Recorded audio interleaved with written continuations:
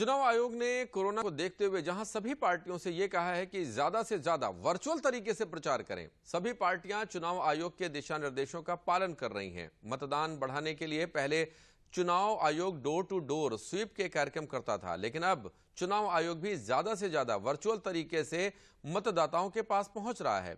आगरा में एक ऐसे सेंटर का जायजा लिया हमारे संवाददाता नीरज शर्मा ने नाटक देखो नाटक देखो नाटक देखो सच को फिर से करे सलाम। झूठ का करते पर्दाफाश झूठ का करते पर्दाफाश बिना रुके बोलेंगे आज। बिना रुके बोलेंगे आज। नुक्कड़ नुक्कड़ नुक्कड़ नुक्कड़।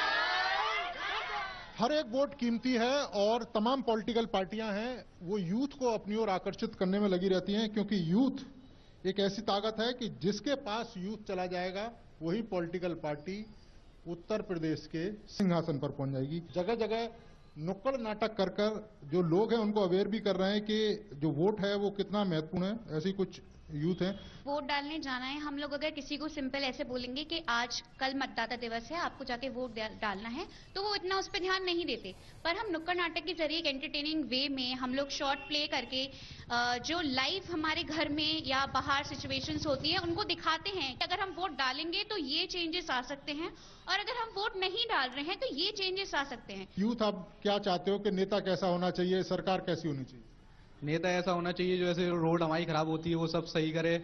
और जो हमारी बातें सुने यहाँ की ये नहीं कि इसका लेटर उसका पहुँचाए ऐसे नहीं। डायरेक्ट हमारी बात सुने क्योंकि हम भी उसे वोट दे रहे हैं। हम ये नहीं चाहते कि हमारी बात कोई चार लोग पहले पहुँचा रहे हैं फिर पाँच भी उस पर पहुँचे। डायरेक्ट उस पर पहुँचे हम ये चाहते हैं कि हमारी बात डायरेक्ट पहुँचे और हमारा सुनवाई हो। यूथ आप लोग वोट पहली बार वोट करेंगे क्या? हमारा तो पहली बार वोट है और हमें भारत पर गर्व भी है कि हमें अपने मन से अपना नेता चुनने का अधिकार मिलता है ये। आपने देखा होगा कोरोना काल चल रहा है। तमाम पॉलिटिकल पार्टियाँ अब डिजिटल माध्यम से प्रचार कर रही हैं। तो यूथ क्या डिजिटल माध्यम से कितना आकर्षित होता है और कैसे इन्फ्लुएंस होता है वो?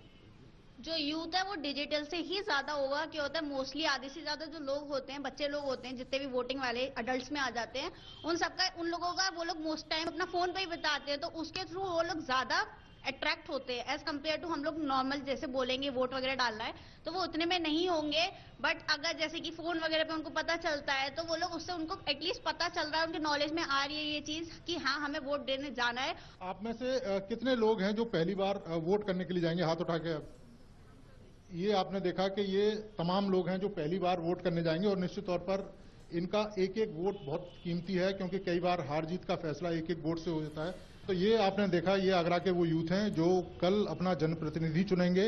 इन लोगों के अपने कुछ इश्यूज़ हैं, डिजिटल माध्यम का जिस तरह से प्रचार चल रहा है, उसको लेकर ये कहना है कि यूथ काफ़ी प्रभावित होता है और कोरोना काल में चुनाव आयोग ने ऐसे तमाम कह सकते हैं कि गाइडलाइंस भी सामने लगाई हैं पॉलिटिकल पार्टियों के कि वो डिजिटल ज़्यादा प्रचार करें और यूथ है, वो काफ़ी खुश है इस डिजिटल माध्यम से।